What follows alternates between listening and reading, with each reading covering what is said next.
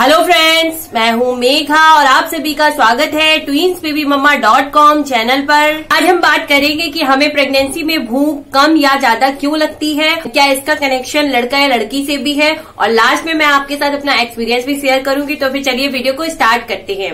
Friend सबसे पहले आपको बता दूँ कि प्रेगनेंसी में स्टार्टिंग का जो फ़र्स्ट ट्राइमेस्टर होता है मतलब एक से तीन महीने तक का जो टाइम होता है, उस समय क्या होता है कि हमारी बॉडी में बहुत सारे चेंजेस आते हैं और ये सब चेंजेस होते हैं हार्मोनल चेंजेस की वजह से। जैसे जी मिटलाना महक लगना, चक्कर आना, कमज़ोरी लगना और थकान सी महसूस होना, कुछ खट्टा खाने का मन करना, कभी कुछ मीठा खाने का मन करना तो कभी कुछ भी ना खाने का मन करना तो ये बहुत सारे केसेस में होता है और ये ज़रूरी नहीं है, ये सारे जो सिम्टम्स हैं वो हर किसी महिला के ऊपर लागू हो। तो देखिए प्रेगनेंसी के स्टार्टिंग में बहुत ज़्यादा मॉर्निंग सिकनेस की समस्या रहती है। तो जब मॉर्निंग सिकनेस होती है ना तो वैसे भी कुछ खाने का मन नहीं करता है। तो 80 परसेंट महिलाओं को जो है भूख कम लगती है फ़र्स्ट ट्राइमेस्टर में, क्योंकि कभी कभी कुछ महिलाओं के साथ क्या होता है कि वो जैसे ही कुछ खाती है तो उन्हें तुरंत ही उल्टी हो जाती है। कुछ को तो इतनी ज़्यादा प्रॉब्लम होती है कि वो अगर पानी भी पी लेती है तो तुरंत ही पलट जाता है। तो जिस जिस वजह से उनका ना मुँह बहुत ज़्यादा कड़वा रहने लगता है और अंदर से बिल्कुल भी इच्छा नहीं होती है। और ये जो समस्या रहती है वो ज़्यादातर एक से लेकर तीन महीने तक रहती है सबसे ज़्यादा।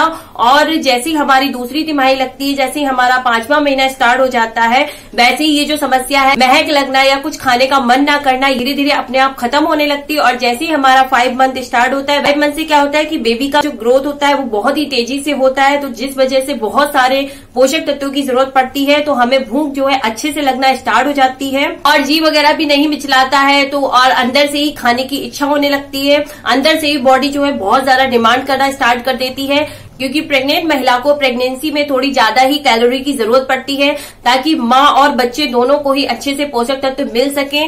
कुछ महिलाओं का क्या होता है कि शुरू से लेके पूरे नाइन मंथ तक जी मिचलाता है, जिस वजह से वो प्रॉपर कुछ भी नहीं खा पाती हैं अच्छे से। कुछ महिलाओं को जो है स्टार्टिंग में प्रॉब्लम रहती है, उसके बाद में बिल्कुल नॉर्मल हो जाती है। तो जिस वजह से जो है वो आराम से बाद में अच्छे से खा लेती है, उनको अच्छे से भूख भी लगती है तो कोई प्रॉब्लम नहीं होती है। अगर आपको प्रेगनेंसी की पहली तिमाही में ये समस्या है, जी घबराने की या चक्कर आने की या मन न करने की तो आप जो है उस समय ज़्यादा से ज़्यादा तरल पदार्थों का सेवन करें, जैसे दूध पिए और जूस पिए, ज़्यादा से ज़्यादा ताजे फल खाएँ। खाएँ और आप जो है एक ग्लास पानी में नींबू डाल के पिए, ये आपको बहुत फ़ायदा करेगा मॉर्निंग सिकनेस में और आपका डाइजेशन भी अच्छा करेगा। और आपको जो है ज़्यादा से ज़्यादा आप हरी सब्ज़ी ले लें मतलब जो भी आपको अच्छा लगे तो आप कोशिश करें कि थोड़ा हेल्दी ही खाएँ। और अगर आपको जो है ये प्रॉब्लम बहुत ज़्यादा होती है, अगर आपको ये समस्या दूसरी तिमाही में भी रहती है तो आपको डॉक्टर से ज़रूर मिलना चाहिए, क्योंकि अगर आप ही कुछ नहीं खाएँगी तो बच्चे के अंदर भी पोषक तत्वों की कमी हो जाएगी प्लस आपकी बॉडी में भी बहुत ज़्यादा पोषक तत्वों की कमी होने की वजह से आपको बहुत सारी समस्याएँ हो सकती है। जैसे कि शरीर में ब्लड की कमी होना प्लस कैल्सियम की कमी होना, जिस वजह से आपकी हड्डियों में और घुटनों में और बहुत ज़्यादा दर्द रह सकता है। और प्लस आपको जो है बहुत ज़्यादा वीकनेस लगेगी, बहुत ज़्यादा चक्कर आएँगे प्लस आपके सूजन भी आ सकती है पूरी बॉडी में तो आप इस बात का ज़रूर ध्यान रखें। और आप कोशिश करें कि जब भी खाएँ तो आप हेल्दी से हेल्दी और अच्छे से अच्छा खाएँ ताकि आपको भी प्रॉपर पोषक तत्व मिले और बेबी को भी प्रॉपर पोषक तत्व मिल सके। जिन महिलाओं को स्टार्टिंग से ही मॉर्निंग सिकनेस या फिर महक लगना कोई भी समस्या नहीं होती है तो उनको शुरू से बहुत ज़्यादा भूख लगना स्टार्ट हो जाती है तो आपको कोशिश करनी है कि अगर आपको फ़र्स्ट ट्राइमेस्टर से ही बहुत ज़्यादा भूख लग रही है तो आपको फ़र्स्ट ट्राइमेस्टर से बहुत ज़्यादा नहीं खाना है।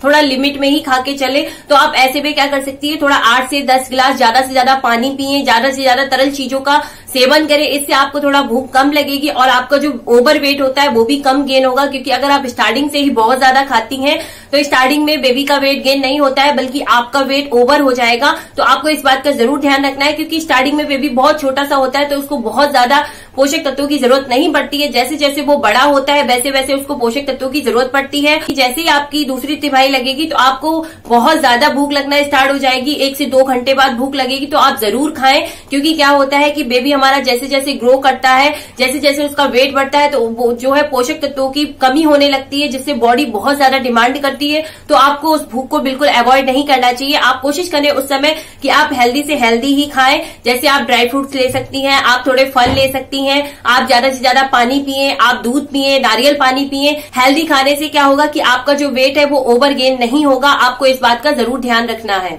और आपको अपनी भूख बिल्कुल भी इग्नोर नहीं करनी है और स्टार्टिंग से लेके नाइन मंथ तक आपको थोड़ा सा बैलेंस बना के ही खाना है, ताकि आपका ओवर वेट गेन ना हो।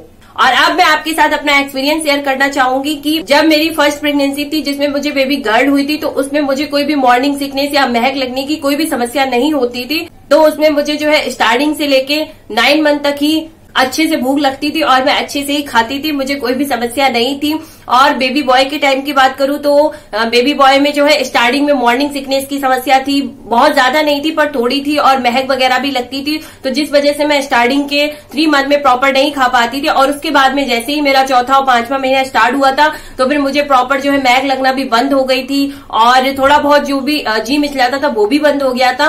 जिस वजह से मुझे अच्छे से भूख लगने लगी थी और मैं अच्छे से भी खा पा रही थी तो मैं बस आपको यही समझाना चाहती हूँ कि भूख का कम या ज़्यादा लगना लड़का या लड़की से कोई भी संबंध नहीं रखता है, बल्कि ये जो जो भी समस्या होती है, वो होती है हार्मोनल चेंजेस की वजह से, क्योंकि सीधी सी बात है अगर हमें महक नहीं लगती है और हमारा जी वगैरह भी नहीं बिचलाता है तो फिर हम आराम से हमको भूख लगेगी और हम आराम से खा सकेंगे। और अगर आपको मेरा ये वीडियो पसंद आए तो प्लीज़ इसको लाइक करें, ज़्यादा से ज़्यादा शेयर करें और सब्सक्राइब करने के साथ साथ बेलाइकन ज़रूर दबाएँ ताकि मैं कोई भी नया वीडियो डालू तो उसका नोटिफिकेशन सबसे पहले आपके मोबाइल पे आए। सो थैंक यू फ्रेंड्स मिलते हैं अगले वीडियो में।